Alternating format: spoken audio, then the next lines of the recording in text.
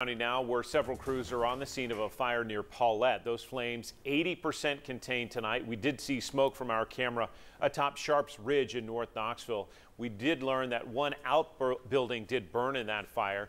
The Knoxville Fire Department as well as rural metro crews were responding as well as crews from Claiborne County and the Department of Forestry also on that scene. We'll have the very latest tonight at 11. And in Cocke County, a fire there started in North Carolina. It's now spreading across the state line into Tennessee. Started along Interstate 40 in Haywood County, North Carolina.